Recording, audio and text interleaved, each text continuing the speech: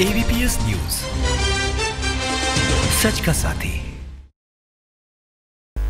वेद कुमारी राम मोहन स्मारक धर्मशाला का शिलान्यास करने के लिए साक्षी महाराज चंदौसी पहुँचे, जहाँ पर समर्थकों ने उनका फूल मालाएँ पहनाकर स्वागत किया। साथ साथ उन्होंने जिंदाबाद के नारे भी लगाए।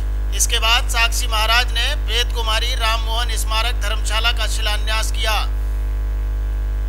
इस मौके पर जिलाध्यक्ष राजेश सिंघल व अन्य भाजपा के कार्यकर्ता व पदाधिकारी मौजूद रहे।